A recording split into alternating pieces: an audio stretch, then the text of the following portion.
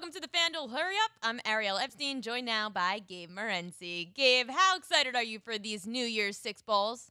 Uh, great time of the year to be a college uh, football fan, and we've got some great opportunities on the board uh, this week, Ariel. New Year's Eve, 2 o'clock Eastern Time. We have the Tony the Tiger Sun Bowl between Florida State and Arizona State. Total 54 and a half. Spread at four, favoring Arizona State. Are you laying the points? No, this is one of my favorite uh, bowl games, and it always has been the Sun Bowl, uh, a tradition. You can set your watch uh, by it. And, you know, the Sun Bowl, to me, has always been um, the, uh, the official start to New Year's Eve. Like, it's acceptable to start drinking when the Sun Bowl starts. You start drinking before the Sun Bowl starts, you might have yourself a drinking problem. You start drinking at two in the afternoon, you don't have a problem. You're just a Sun Bowl fan. Uh, but I, I got to tell you, many a New Year's Eve, many a New Year's Eve in the Morency household has gotten started during the Sun Bowl. Always been a fan of this football game. Um, one thing I'm not a fan of is laying points with Pac 12 teams uh, in bowl games, though. This is unbelievable, guys. In the last 25 bowls uh, that the Pac 12 has been in, all right, the last 25 bowls that the Pac 12 has been in, they've only covered three times. That's right, three times. Uh, we're now talking about a, uh, a 3 and 22 ATS run uh, by the Pac 12. Now, I know Florida State have a new coach coming in with uh, Coach uh, Mike Norvell. I actually like that. I think they might have found their guy, and uh, Norvell will have a watchful eye over this football game. FSU have more blue chip um, talent and skill position players than Arizona State does. And I listen, I love Herm Edwards. I think Herm's done a very good job. Not great, but very, very, very good uh, job with Arizona State. But with that being stated, they're without their top wide receiver and they're without their uh, top running back, both who have decided uh, to forego this game to prepare for the National Football League draft. Yeah, I know, I know. Uh, Akers isn't there uh, for FSU. Uh, but uh, FSU's passing attack is pretty lethal. And I'll tell you what, the Seminoles' weakness is their secondary. I'm not so sure Arizona State's going to be able to take advantage of it. As I stated, I'll take uh, Florida State. Yeah, I know they're not a perfect football team, but they play um, they play hard. They hung around with the Florida Gators. They have the talent to win this game outright. Give me the four points with the Florida State Seminoles. Happy New Year. Navy facing off with Kansas State in the Liberty Bowl at 3:45 Eastern Time. Gabe, since you're already going to be kind of drinking at that point, what's your pick? Well, I'm not saying that I'm going to be uh, drinking because um, I'm a professional, unfortunately. As uh, hey, I'd like nothing better to get smashed at two in the afternoon and watch uh, the Sun Bowl. Uh, but I know that we're going to be cashing uh, tickets, um, and I'm going to be cashing another ticket here with the Middies Navy. We already gave you guys Air Force uh, last week, and Air Force continued the theme.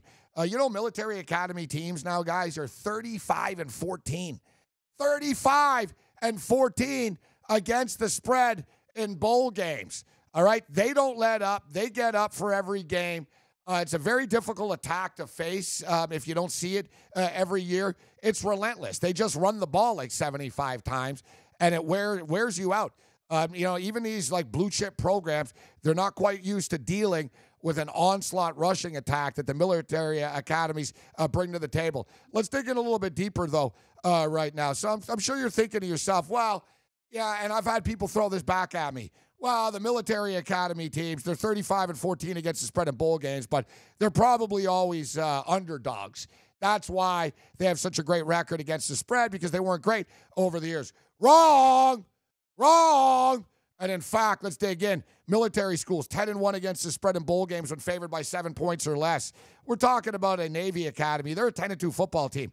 Their only losses were against Notre Dame and Memphis. They're the real deal. This isn't your grandpa's uh, military academy uh, football team. They play in a real conference, man. They play against Houston. They play against Memphis. They play against SMU. They play against fast teams. Kansas State is not a fast team. Kansas State historically struggle in bowl games uh, as well. You have a coach uh, for K State's going to be coaching in his first uh, ever bowl game. I'm not getting in front of this uh, Naval Academy. Uh, they're a damn good football team, and uh, they're going to continue the tradition of military academy teams covering in bowl games. The Navy wins. when you see a military academy team playing in a bowl game, you enlist. Sign me up. LT smash it. Switching over to the New Year's Day games, I know, Gabe, you're excited for this one with Michigan facing off with Alabama in the Citrus Bowl. However, you're not taking a side in this one. What are you doing? Well, this is a really, really tricky uh, football game. And I am a Michigan Wolverine fan, which uh, knows I know that Michigan suck in bowl games. Uh, you have to figure that eventually uh, Harbaugh is going to win a big uh, football game, and this would be a pretty big win. Michigan are kind of in a decent spot here in the sense that if they get blown out, people will just sort of shrug their shoulders, roll their eyes, and say, oh, well, Harbaugh got blown out again uh, in a big game. They come in here almost playing with house money. There's no pressure on Michigan uh, right now. People really aren't talking about this football game. People are talking about the motivation factor uh, for Alabama uh, in this spot. It's the first time that Alabama is not in the college football playoff. In the first five years, they were in the playoffs every time. So, you know, the motivation factor is real. Um, Alabama lost a couple of defensive players and, you know, really good defensive players, but their offense went unscathed. Everybody's coming back and playing in this game, even though a bunch of them are going to the National Football League, anyways, which tells you they actually do care about uh, this spot. Alabama are the more talented football team. Um, Michigan getting seven points is attractive, but ultimately, I think the way to go here, Ariel, is just to bet the over. Why overcomplicate things uh, here? We got a total of uh, 58 points. Uh, you know, you want to hear something crazy about Alabama uh, this year? Um, the Alabama Crimson Tide have scored 35 or more points in every game that they played this year. Think about that. And they lost Tua. They scored 35 or more. And in fact, they scored like 45 or more in most of them, uh, to be honest. Even when they lost uh, to Auburn, they got to 45, right? Or 46, whatever it was, 48, uh, 46. Bama can put points on the board. When people think of Alabama football, you know, they used to sort of think of defense and, you know, Greg McElroy and a game manager at quarterback. Mac Jones can sling it around. They've got NFL caliber wide receivers that Michigan are going to have a hard time dealing with uh, for 60 minutes on a football field. Meanwhile, Michigan are nine and three to the over in their own right. Uh, Michigan have been putting up points uh, on the board. They've scored 38 or more points in four of their last uh, five games.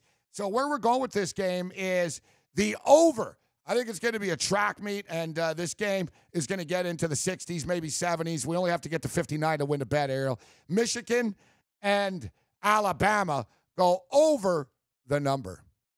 Keeping it on New Year's Day, Minnesota versus Auburn in the Outback Bowl. Minnesota coming off one of its best seasons, 7 and 2 in conference play in the Big 10 West tied with Wisconsin. So Gabe, are you on this Minnesota bandwagon or are you just thinking Auburn SEC, no doubt? Uh, you know what? I was on the Minnesota Golden Gopher uh, bandwagon earlier in the year, Ariel, uh, but um, the things with bandwagons is they crash and you have to get off uh, before it uh, crashes. And, you know, we saw the Gophers' reality kick in a little bit uh, down the stretch, losing two of their last three uh, football games.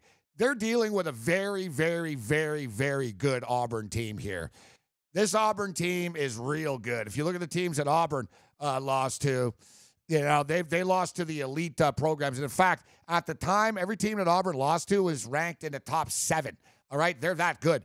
We saw this Auburn team uh, beat Alabama. We also saw Gus Malzahn talk about how he thinks that uh, Bo Nix is going to be a national champion. He said, I got a guy right here that's going to be a national champion. He was sending a message uh, to everybody. He was sending a message to the boosters. He was sending a message to the program. He was sending a message to the kids. He was sending a message uh, to the other teams in the conference that Auburn is playing for real next year. You know, Gus Malzahn's a national championship caliber coach, but he's sort of really up or down. Like you look at his career, he's a lot like Eli Manning. you know what I mean? Eli Manning was kind of average, but he won a couple of Super Bowls, right? Gus Malzahn's been kind of average, but hey, he's got quite a few big wins on the resume. He's also got some talent uh, here as well. So, you know, it's the Outback Bowl. It's hard to keep up with these stupid names. You know, the Citrus, the Outback, and, uh, you know, and everything else. Uh, the Walmart Bowl. and everything else uh, in between. Uh, but I'll tell you one thing about this game in Tampa, the Outback Bowl. It's SEC versus Big Ten, and the SEC has owned it. They're seven and three straight up in the last uh, ten Outback Bowls. I expect um, this to uh, to improve to eight and three um, here. Auburn's just going to be too much in the trenches. Minnesota have big kids.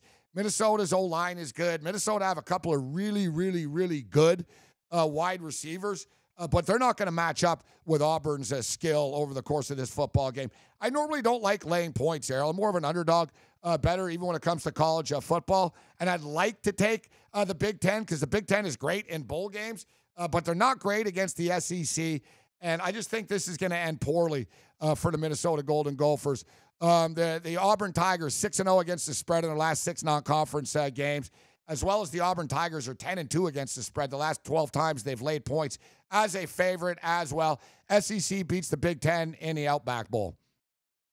Another Big Ten team and in a bowl game that you can't really say is a no name bowl because it's the Rose Bowl. And it seems if you're not in the college football playoff, this is the bowl game that seems the most prestigious, or at least one of them. It's Wisconsin against Oregon at 5 o'clock on New Year's Day. Gabe, are you going Big Ten here? It's the granddaddy of them all. And you know what? I've been to the national championship game before. I was there when Tim Tebow played against uh, Sam Bradford uh, in Miami, Florida. I had the over. It didn't go well. All right. I've been to Super Bowls. I've been to national championships. I've been to NBA finals. I've been to Stanley Cup uh, finals. I have one thing on a bucket list, actually, Ariel. And I even used to live in Los Angeles and I never went to the Rose Bowl because Michigan didn't play in it uh, when I was there. I've always wanted to see my Michigan Wolverines in Pasadena and go to a Rose Bowl. And hopefully uh, Harbaugh can make it happen. Make it happen, coach. Uh, but we do have the Big Ten representative uh, here in the Wisconsin Badgers taking on the Ducks. And I got to tell you, I, this might be one of my better bets, although you got to be careful. And, you know, you never, no one game is better than another, uh, actually, ever, guys. But let's just say I really like this one. As of this taping uh, right now, as I speak to the lovely uh, Ariel Epstein, uh, the Big Ten has beaten the Pac 12 in 11 straight bowl games. All right. They've freaking owned them.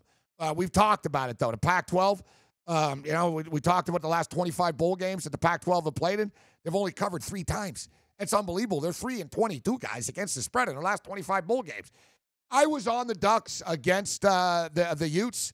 I don't like the Ducks uh, here. Uh, the physicality of the Wisconsin Badgers is going to be too much. You guys remember, man, Wisconsin gave Ohio State all that they can handle. Wisconsin's an elite football team.